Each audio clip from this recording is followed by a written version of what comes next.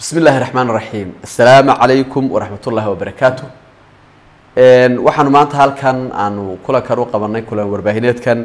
Waa in aanu soo bandhigno firsado uu ururka saxafiyiinta somalilan u hayo dhammaan saxafiyiinta somalilan ee ka howlgala guud ahaanba wadanka kuwaasi oo kale ah ururku sidaynu la soconno waxa uu ku howlanaa sidii loo dhisi lahaa aqoonta saxafiyiinta. Fursadna loogu siin lahaa inay helaan aqoon aanay ka fikirin lacagteeda iyo kharashka kaga baxaya laakiin uu ururku damaanad qaado.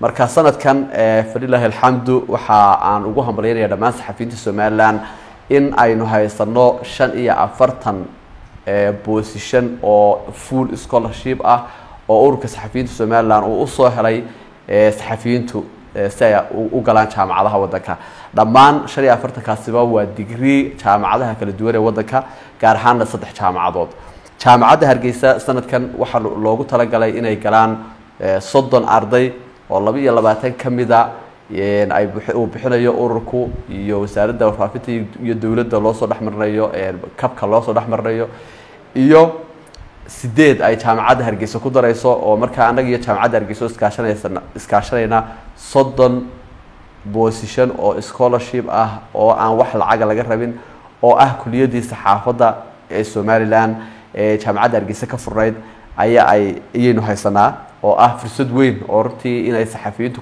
galaan oo ay aqoonta ka faaidaystaana waxaa kale oo iyadana aynu haynaa oo ururka uu raadin iyo dadaal iyo tacab dheer ku soo helay laba iyo toban bosishan oo jaamacadda the unity university ee magaalada hargeysa ayna siisay oo iyaguna baranaya media management and public relation.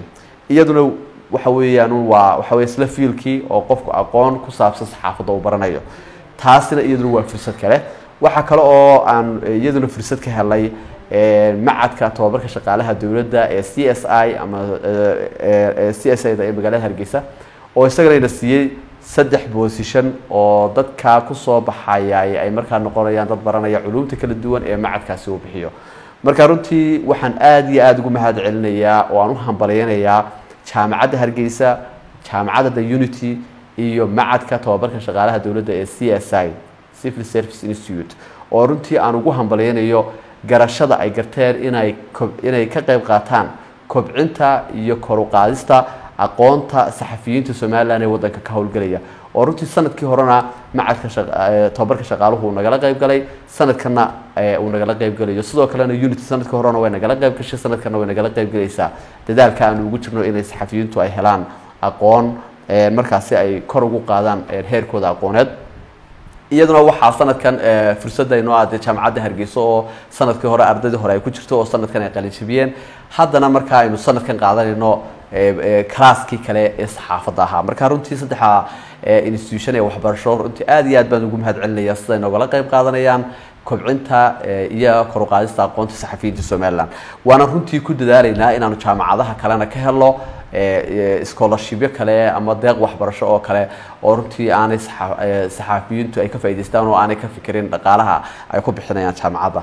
Marka waxaan u soo jeedinayaa saxafiyiintu inay ka soo qeyb qaataan bosishanadaasi aynu helay ama fursadaasi waxbarasho aynu helay.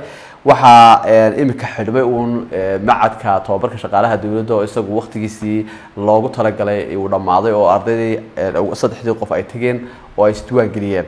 Laakiin laba iyo afartanka kale ee bosishanba waxay inta bishanba way soconayaan.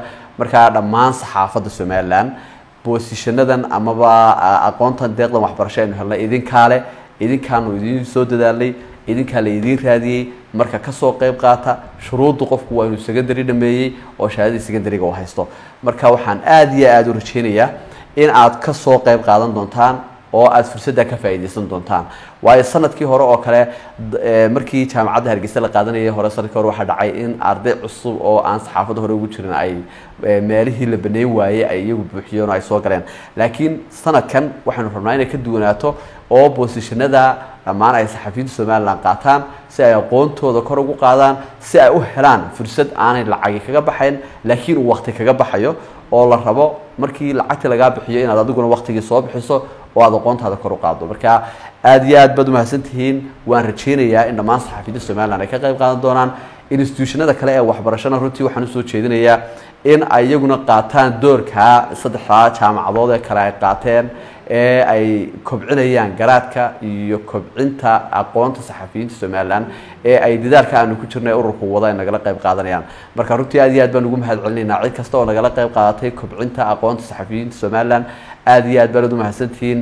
Waana rajeynayaa in saxafiyiintu ay ku soo tartami doonaan. Asalaamu calaykum waraxmatullaahi wabarakaatu ka farxi ehelkaaga asxaabtaada iyo qaraabadaada. Oo la soo deg abka dahabshiil si aad si fudud lacag ugu dirto. Marka aad la soo degto ablicathonka dahabshiil ee aad lacag ka dirayso isticmaal koorka khadmad la'aanta ee tree oo kuu sahlaya in saddexda jeer ee ugu horreeya ee aad lacag dirayso aan wax khadmad ah lagaa qaadin ده هول هالفضيديها جمال يديك